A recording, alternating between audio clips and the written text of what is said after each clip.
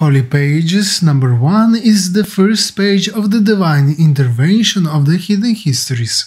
To find it, start from the bottom left side of Island Santuario.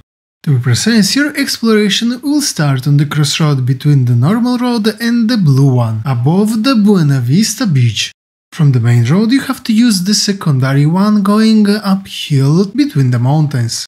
Continue using this road until you will find on the left a horse parking. Now look to the right and you will notice some arrows on top of the mountain. Using the overhanging with the yellow lines, you will be able to climb on top of the mountain, where you will find another arrow pointing toward the left. Looking in this direction, you will notice a tree bridge that will allow you to reach the next arrow. Now on the left you will find a tunnel that you have to use till the end, where you will find a cave entrance with several symbols. Now use the only pathway inside it uh, until you will reach a ritual area. Here on the left, between the chests and in front of the candles, you will find the document you came for.